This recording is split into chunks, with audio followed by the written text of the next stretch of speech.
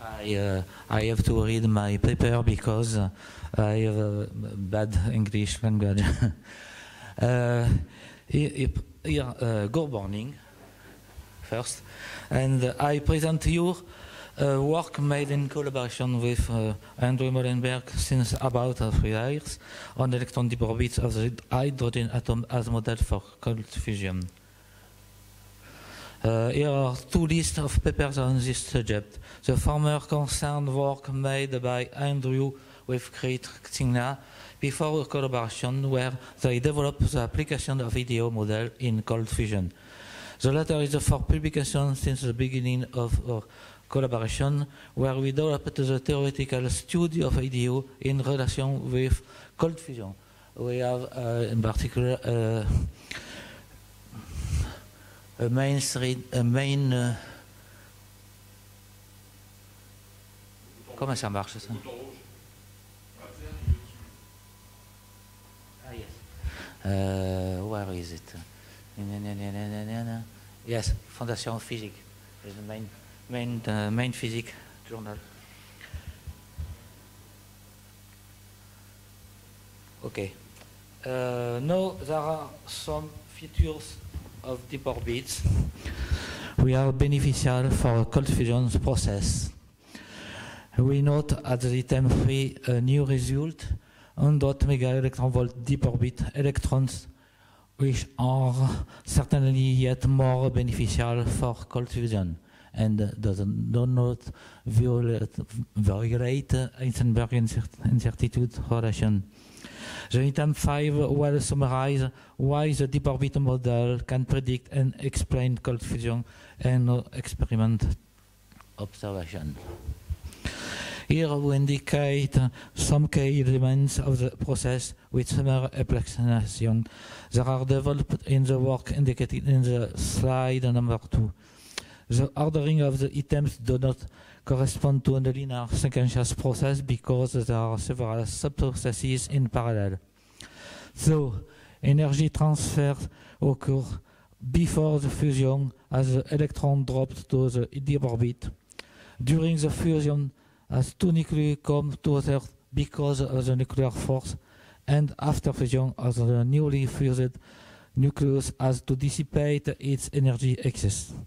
Because of its size, a femto atom allows a nucleus to approach at a distance where the strong nuclear force can act upon it.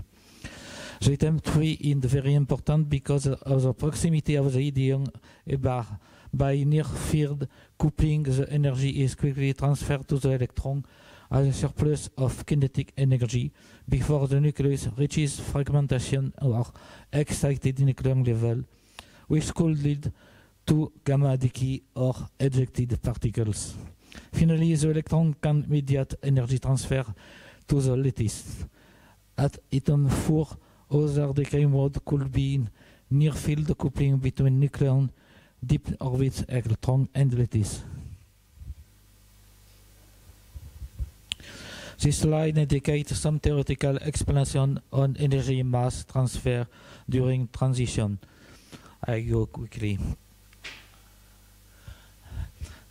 Here are some relations with experiments and other theoretical models. Now a quick recall on the electron deep orbits as solution of Dirac equation.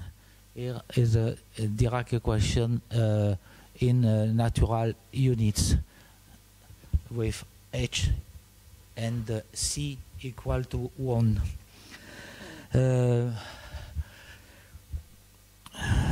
in response to a previous previous controversy, we deduce the energies of EDO are positive from a very no solution process using a second order Kummer's equation, as for example in the book of Flügge. Here we plotted curves of the electron density for different values of Dirac angular quantum number k and values of the mean radius of orbitals from the analysis and extension of the work of Maly and Vavra while considering finite dimension nucleus. In a previous study on magnetic interactions, we showed magnetic and potential of very high energy near the nucleus. As a consequence, the Heisenberg relation could be respected in this zone. Now we adopt a different strategy. We directly address the Heisenberg relation as a starting point while considering an electron confined in a sphere of radius r. In a first step, we observe that a relativistic treatment leads to a containment energy about 100 mega electron volt. It is 100 times smaller than in a non-relativistic treatment, which has not adapted. Now the question is, can a potential be strong enough to balance just containment energy? The answer is yes, to be seen in next slides. Uh, in a second step, we can deduce an approximate value for the relativistic coefficient gamma. This requires algebraic transformation not indicated here. It's interesting to note the result can be expressed in a very simple way by recognizing the quantum wavelength, lambda c.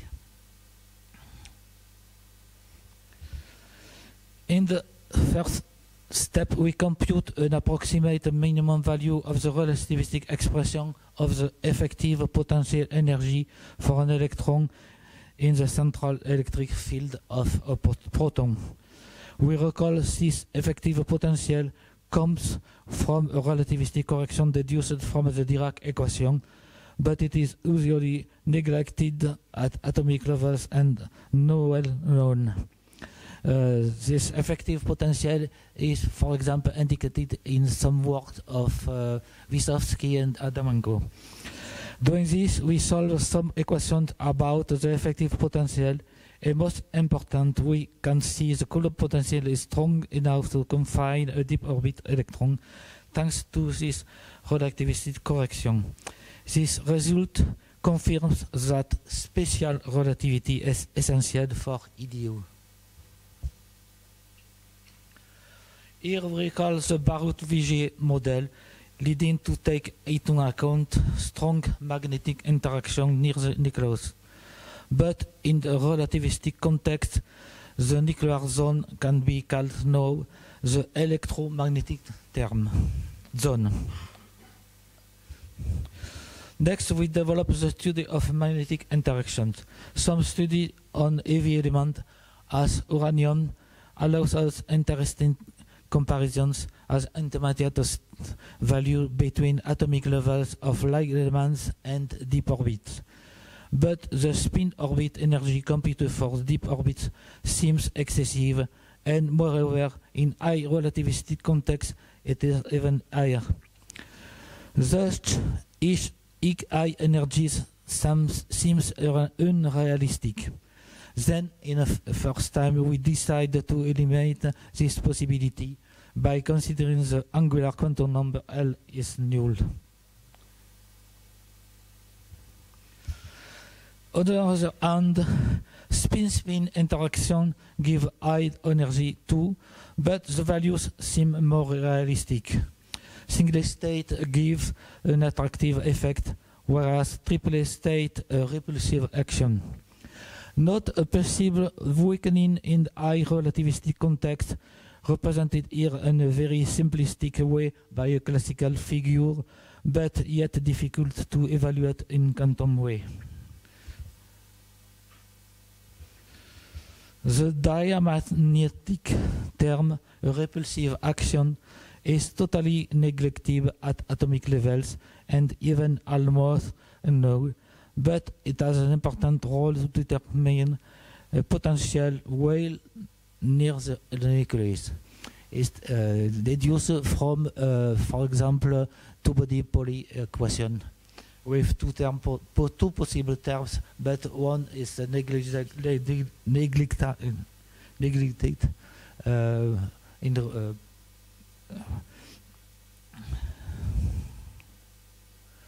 finally we have also to take into account radia radiative corrections as a well-known Lamb shift.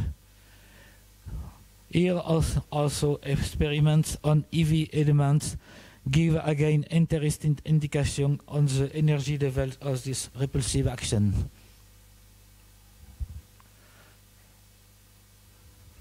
Next, we study the possibility of a metastable resonance near the nucleus due to a balanced combination of electromagnetic potential near the nucleus.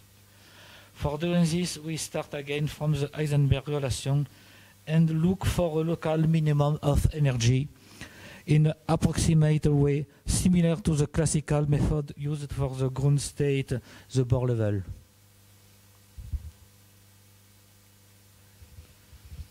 Previous computation with attractive spin-spin presented at Sendai gave a bad result.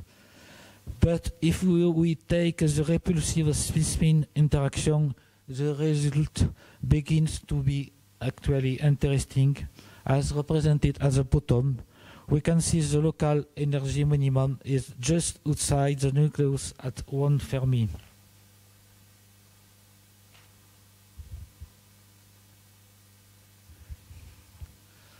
Finally, we consider a possible awakening of the electromagnetic interaction due to the high relativity level for some uh, this uh, interaction and radiative corrections.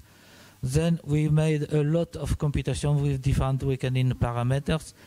This led this yield local minima at radii which are closer to the average EDO radii um, uh, showed in the figure with the curve of the energy.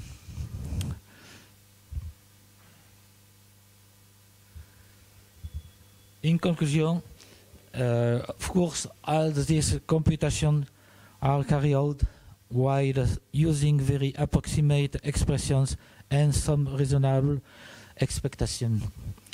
Nevertheless, the present study allows us to predict resonances near the nucleus respecting the Heisenberg relation. Moreover, it opens a new range of very high energy for EDO, order about 100 mega electron volt instead of previous values about volt.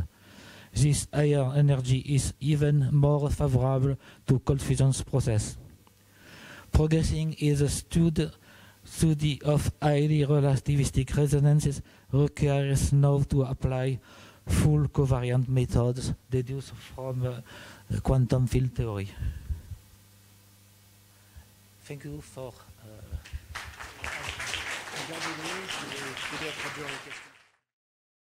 Please answer for, for my questions. Uh, uh, if I understand you correctly, uh, the magnetic forces, magnetic uh, uh, properties of, the, of these uh, deeply electron orbits very strong.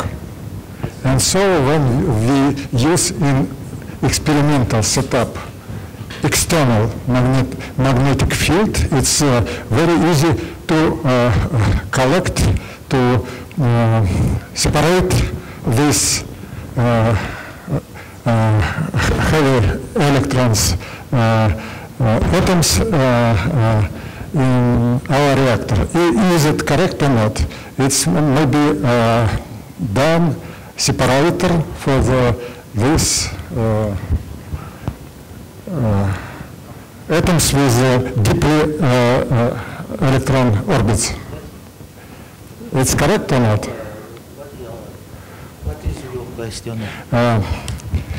If your structure have a large magnetic moment, it is uh, easily possible to separate these uh, active particles by the external magnetic fields. Is that correct or not? With, with large um, uh, angular momentum?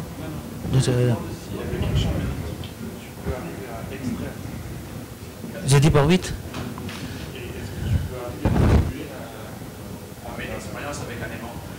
Ah, I don't know. maybe, but, but the deep, deep electron uh, are very uh, strongly uh, aggrieved by the, the strong uh, magnetic interaction near the nucleus. The, uh, in consequence, uh, if you, you wish, you want uh, to uh, separate, uh, it needs a very, very strong uh, uh, magnetic and, uh, field because uh, you can see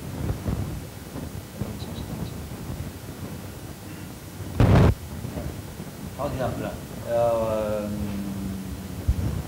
potential energy is V uh, minus 126 mega electron volt.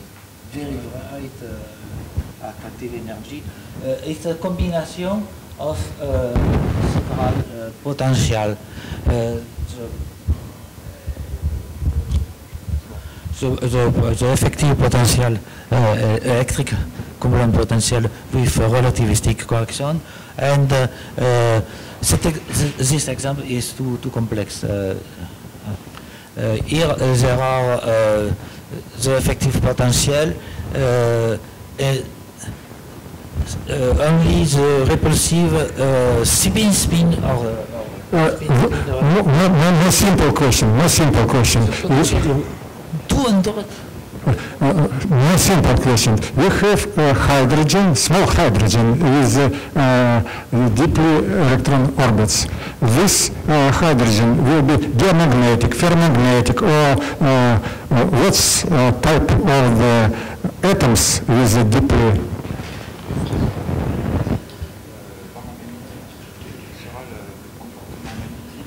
de- d'un type orbite.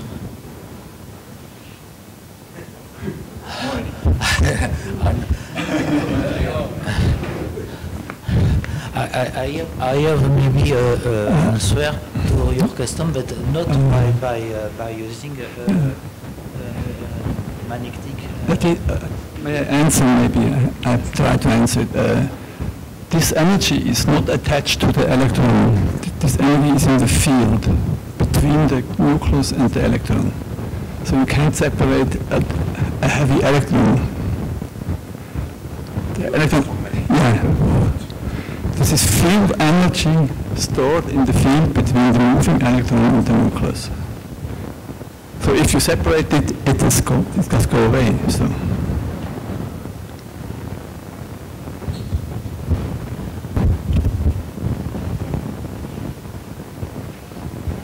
Thank you, Jean-Luc.